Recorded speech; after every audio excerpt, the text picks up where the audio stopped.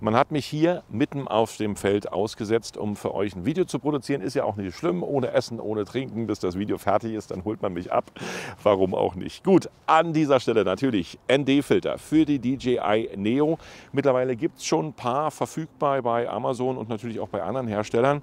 Und wir gucken uns heute mal an, äh, ob man das Bild der DJI Neo vielleicht ein bisschen verbessern kann mit ND-Filtern. Und ich wünsche euch wie immer viel Spaß beim Anschauen. Wenn du solche Videos noch öfter sehen möchtest, gib dem Kanal ein Abo und dem Video ein Like, wenn es dir gefällt. Ich sage vielen Dank dafür. Die gute Nachricht ist natürlich, dass DJI schon die Bildqualität hier bei der DJI Neo per Update etwas verbessert hat. Wer sich da immer die aktuellen Updates zieht, der wird festgestellt haben, dass schon mal ein bisschen mehr Kontrast drin ist. Aber da ist natürlich immer noch die digitale Schärfe drin. Und das ist immer das Problem. Das sieht immer aus wie ein Handyvideo.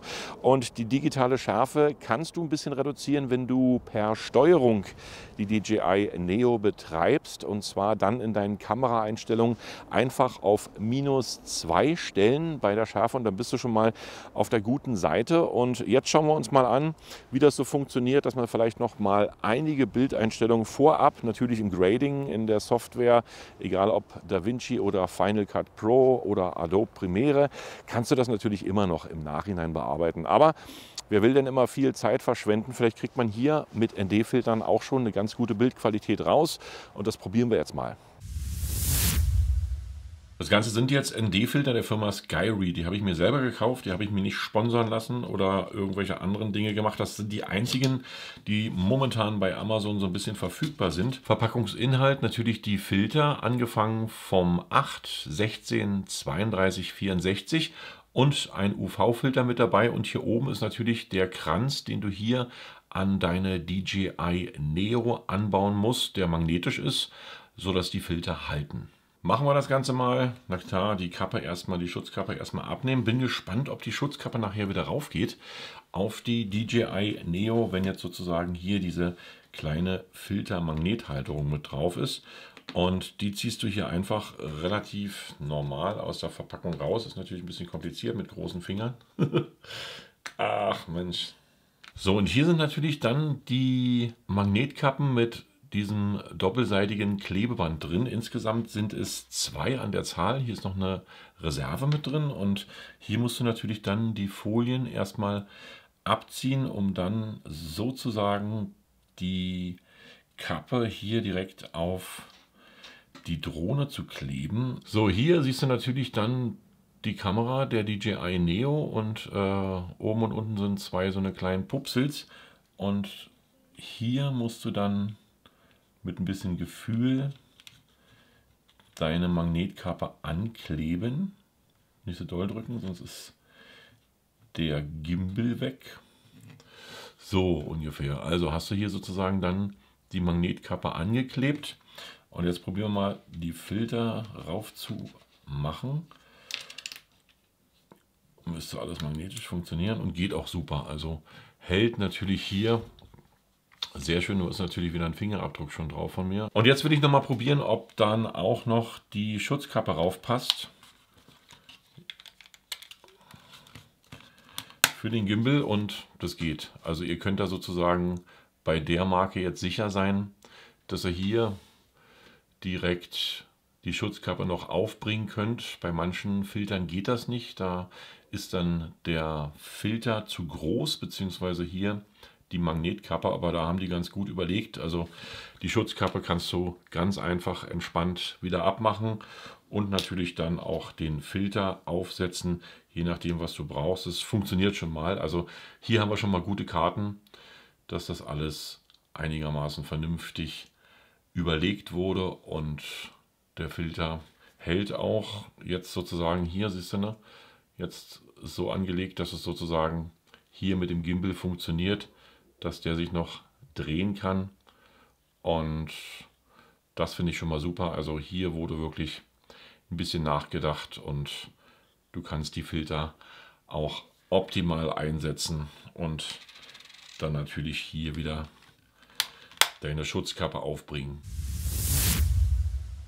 Kurze Erklärung der ND-Filter. ND-Filter sind die Sonnenbrille für dein Objektiv. Ganz einfach. Hier ist eine feste Blende drin von 2.8 in der DJI Neo und die kannst du natürlich nicht verstellen. Was bedeutet, du würdest, wenn du die Augen benutzen würdest, anstatt dem Objektiv immer die Augen weit aufziehen und äh, dann natürlich versuchen, viel Licht reinzulassen. Kommt dann die Sonnenbrille ins Spiel, kannst du die Augen hinter der Sonnenbrille, egal was für eine Stärke, relativ groß aufziehen und es kommt immer noch viel Licht rein und natürlich auch Informationen und auch ein bisschen mehr Kontrast. So erklärt man eigentlich relativ schnell die ND-Filter. Und das passiert natürlich auch bei der Kamera der Drohne. Erstmal ganz wichtig von Auto auf Pro umstellen, damit du hier dann deine Einstellung selber regeln kannst. Und wenn du dann von Auto auf Pro umgestellt hast, hast du natürlich hier verschiedene Dinge, die du einstellen kannst im Controller. Das ist einmal die ISO, dann ist es natürlich hier der Shutter Speed. Und die beiden Dinge interessieren uns natürlich für die ND-Filtern, weil du kannst natürlich dann die ISO noch etwas höher setzen oder etwas niedriger. In dem Fall natürlich bei starkem Sonnenlicht etwas niedriger. Und der Shutter Speed sollte immer die doppelte Framerate sein, was du sozusagen jetzt drin hast. 4K 30 FPS, Shutter Speed auf 1 zu 60, damit du so ein bisschen die ganze spielfilmartige Bildgeschichte so ein bisschen rauskriegst, wenigstens aus der Drohne. Und da kannst du dann natürlich variieren zwischen den verschiedenen Stärken der Filter. Es gibt 8, es gibt 16, es gibt 32, es gibt 64 jetzt sozusagen in meinem Pack. Es gibt natürlich noch andere. Ansonsten haben wir natürlich bei der Drohne schon mal den Unterschied zwischen Auto und jetzt vernünftig eingestellten Shutter Speed. Ist relativ windig heute, deswegen wackelt die Drohne ein bisschen. Aber du kannst natürlich dann auch noch mal mit der ISO ein bisschen höher gehen und den Shutter Speed dann noch mal auf angleichen ähm, auf 120, also ist ein bisschen mehr. Da hast du, naja, da kannst du wie gesagt deine Bilder so ein bisschen versuchen zu korrigieren. Ich finde es besser bei 1 zu 60 und einer ISO mit 100 da ist es ein bisschen dunkler, aber dafür kontrastreicher. Wenn wir jetzt mal den normalen Modus wieder anschalten, dann zeigt er uns natürlich wieder diese digitale Schärfe. Und ich finde das persönlich dann ein bisschen besser äh, mit der Art von ISO-Einstellung.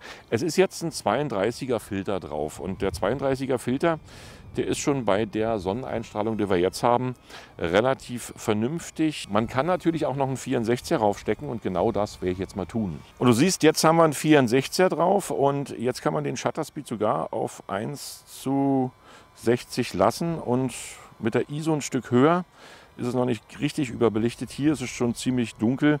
Also ich sag mal, jetzt kannst du mal den Vergleich machen zwischen Pro und Auto. Du siehst, das Autobild ist kontrastärmer und wenn du jetzt hier im Pro-Modus bei deiner Einstellung bist, dann bist du wirklich kontrastreicher mit einem ND-Filter. Und genau das will man ja erreichen, dass man wirklich hier im Bild Kontraste hat und nicht so ein helles, verwaschenes Bild wie hier in der Automatik, was sozusagen dann äh, nicht so gut aussieht. Du siehst natürlich, dass du das in der normalen App-Steuerung nicht hinbekommst mit deinen Bildeinstellungen. Wenn wir hier in die Kameraeinstellung gehen, da haben wir nur die Möglichkeit, hier verschiedene Bildgrößen auszusuchen, die FPS-Anzahl ähm, und andere Dinge, aber du kommst natürlich hier nicht in deine Bildeinstellung rein.